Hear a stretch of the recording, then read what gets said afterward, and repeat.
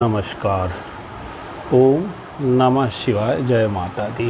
ये कन्या राशि और कन्या लग्न यदि आपका है तो उसके लिए राशि फल लेकर के मैं उपस्थित हूँ, जो इस माह के अंत तक के लिए प्रभावी रहेगा। उसके बाद से नई वीडियो लेके आएँगे। ये जो ग्रहों के वर्तमान गोचर की स्थिति है, इसमें आप 6 अप्रैल से गुरु यहाँ आ चुके हैं, छठे स्थान में हैं और सूर्य, शुक्र और बुध अष्टम स्थान में गोचर कर रहे हैं, जिसमें सूर्य जो है उच्च राशि में है, शुक्र और बुध शत्रु राशि में है।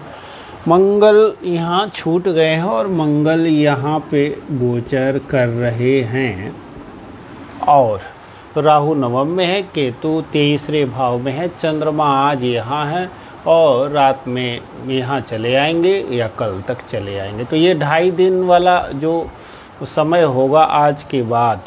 तो छः तीन, आठवें में और गुरु छठवें में और चंद्रमा भी बारहवें घर में चले जाएँगे।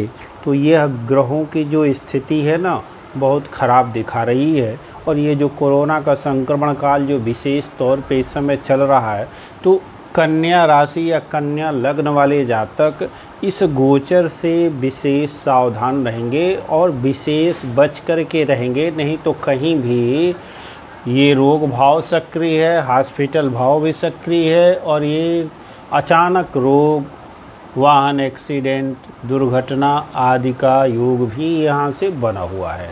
तो इस, ये अष्टम का सूर्य जो है ज्वर देता है, बुखार भी देता है। उच्च राशि का होने से क्या हुआ है? तो अष्टम में और द्वादश का स्वामी भी है। तो हॉस्पिटल भाव का स्वामी आके यहाँ पे बैठा हुआ है आपके। अचानक दुर्घटना वाले भाव में विपरीत राजयोग बनता है। ठीक है, लेकिन पहले विपरीत परिस्थिति आती है। तो विपरीत परिस्थितियों का ये योग बना हुआ है। बहुत सारी विपरीत परिस्थितियाँ ही दिख रही हैं। ग्रहों के शुभ गोचर भाव वाइज यदि देखेंगे तो एकमात्र केतु का गोचर शुभ है और आज चंद्रमा शुभ है। जैसे ही चंद्रमा यहाँ आएँगे ढाई दिन तो ये काफ़ी नेगेटिव रहेगा। इसीलिए अगले ढाई दिनों में तो विशेष सावधान रहिए और हेल्थ को लेकर के अति सावधान रहिए। कोरोना का संक्रमण भी हो सकता है और कोई न कोई वाहन एक्सीडेंट आदि भी हो सकता है। तो सावधान रह के उपाय क्या करेंगे? तो भगवान भोलेनाथ का जो मृत्युंजय महामंत्र है, उसकी शरण में रहें। कम से कम तीन माला रोज़ अवश्य जपते रहिएगा। वो नहीं हो पाता है तो ओम नमः शिवाय करिएगा और दुर्गा जी के स्त्रोत्रों का पाठ कीजिएगा। इससे विशेष लाभ प्राप्त होगा। गणपत अथर्व शीर्ष का पाठ कीजिएगा अथवा विष्णु सहस्र नाम का पाठ कीजिएगा। ये भी आपके लिए काफ़ी लाभदायक है। यूँ तो शुक्र और बुद्ध का राशि से गोचर अच्छा है, पर राशि से ये अष्टम है और लग्न से भी अष्टम है। दोनों स्थितियों में ये इस लग्न की हानि को दर्शाते हैं। धन आदि के लिए धन मिल जाएगा यहाँ से। शुक्र और बुद्ध दोनों यहाँ देख रहे हैं तो धन की स्थिति है। धन, धनागमन होने के अवसर तो दिख रहे हैं और शनि अपनी यहाँ सौ राशि में है, इस कारण भी। और भी परेशानी क्या हो सकती है तो पहले तो धन आएगा। बुद्ध और शुक्र धन देंगे और चलिए आए आए अपने राशि में चंद्रमा बैठे हुए हैं तो आज भी आमदनी के योग हैं। सट्टा उट्टा जो लोग खेल रहे हैं, यहाँ कमा सकते हैं। नई आमदनी। माता पिता के स्वास्थ्य को देखना है तो यहाँ से पिता के स्वास्थ्य में भी परेशानी आ सकती है, माता के स्वास्थ्य में भी परेशानी आ सकती है, उसको लेकर के हॉस्पिटल जाना पड़ सकता है।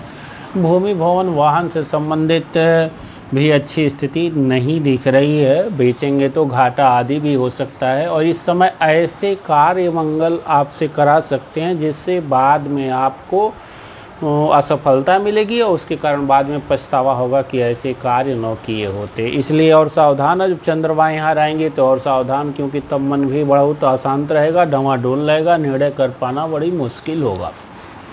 इसीलिए शिव जी की शरण में जाने को कहा। और यहाँ से देखिए, गुरु इन दोनों भावों के स्वामी हैं, यहाँ से बाहर आवे हैं तो पत्नी से लड़ाई झगड़ा हो सकता है। देखिए, इसकी दृष्टि है। और यदि उम्र बहुत अधिक है तो पत्नी बीमार भी हो सकती हैं। पहले से बीमार चल रही हैं तो पत्नी की बीमारी और बढ़ सकती है। तो आपको तो खतरा है ही है और आपके दाम्पत्य अर्थात पार्टनर से झगड़े हो सकते हैं, यात्राओं में कष्ट हो सकता है और पत्नी काफ़ी वृद्ध हैं तो कोरोना आदि के रोग लग सकते हैं। शुगर है तो शुगर बढ़ सकता है। और अति वृद्ध हैं तो मोक्ष भी हो सकता है, पत्नी का, पत्नी बीमार भी हो सकती हैं, हॉस्पिटल भी जा सकती हैं। और वहाँ जा कर के बीमारी में खूब रोग ऋण अर्थात खर्चे भी हो सकते हैं, ऋण भी लेना पड़ सकता है, इस तरह की स्थिति है। लाभ क्या दिखेगा? स्वयं यदि ऋण लेना चाहते हैं किसी कार्य के, जैसे भूमि के लिए, भवन के लिए कर, यदि कर्जा लेना चाहते हैं तो कर्जा मिल जाएगा, गुरु कर्जा दिलवा देंगे फाइनेंस के कारक हैं, छठे भाव में ही हैं तो कर्जा मिलने के अवसर बने रहेंगे। विवाह करना चाहते हैं तो विवाह की अच्छी स्थिति, पुरुष जातक और लड़कियों दोनों के लिए, कन्या राशि वालों के लिए अभी कोई योग बनता हुआ नहीं दिख रहा है। गोचर से तो कोई योग नहीं है। कि आपका विवाह हो जाए। बहुत विलम्ब है, बाधा है, इसलिए प्रतीक्षा ही करनी पड़ेगी। नौकरी नौकरी ये गुरु दिलवा सकते हैं, इसलिए प्रयास करते रहिए और खूब जो है थोड़ा सा परिश्रम करके और नौकरी मिल सकती है। निवेश। निवेश करेंगे, लाभ प्राप्त होगा। भाग्य का साथ, भाग्य का साथ अभी तो विशेष नहीं मिल रहा है। भाग्यपति यहाँ हैं और पीड़ित हैं, अस्त भी चल रहे हैं और दो तीन दिन उधर रहेंगे, फिर अस्त हो जाएँगे। तो भाग्य, ये भाग्य का भी विशेष साथ रहने वाला नहीं है, इसलिए भाग्य भरोसे नहीं रहना है। देवताओं के भरोसे रहना है, अपनी, और अपने कर्तव्य के भरोसे रहना है इस समय में। व्यापार की स्थिति वही कहा कि व्यापार की स्थिति व्यापार में डाउनफॉल इस समय दिख रहा है और इसलिए संभल करके निर्णय लेंगे तो अच्छा रहेगा।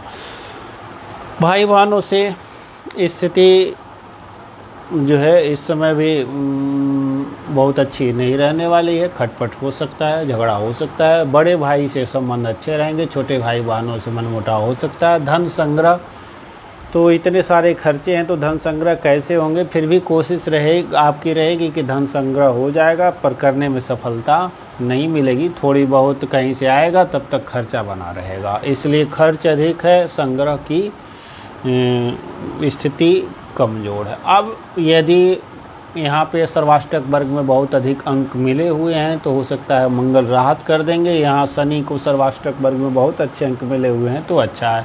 अब दशाएँ किन की जा रही हैं अंतर डालेगा, उसके लिए नंबर दिया हुआ है। मूल कुंडली में जो ग्रहों की स्थिति है, फिर अष्टक वर्ग में क्या पॉइंट है, उसके आधार से ये गोचर का फल और अधिक बिगड़ भी सकता है और अधिक बन भी सकता है।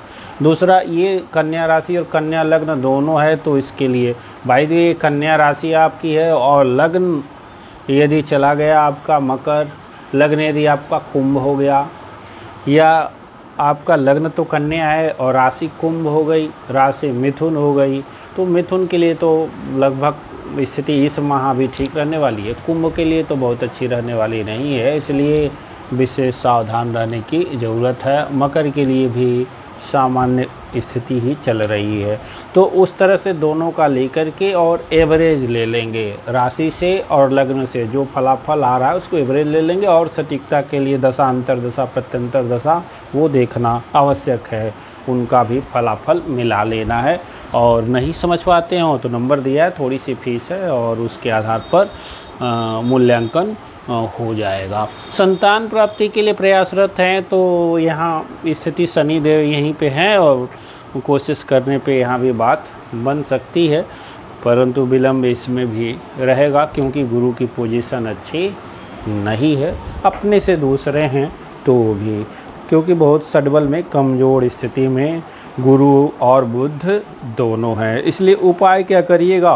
तो उपाय के तौर पे यही रहेगा कि यदि बाई बर्थ आपकी कुंडली में बुद्ध अच्छे हैं तो बुद्ध के रत्नों को धारण कर सकते हैं पन्ना, और यदि शनि अच्छी पोजीशन में है, तब शनि के रत्न धारण कीजिएगा, और शुक्र अच्छी पोजीशन में है, तब शुक्र के रत्नों को धारण कीजिएगा। नहीं तो उपाय पहले ही बता दिया था, उसका पालन कीजिएगा। बहुत बहुत धन्यवाद। ओम नमः शिवाय। चैनल को लाइक करें वीडियो को लाइक करें, चैनल को सब्सक्राइब करें।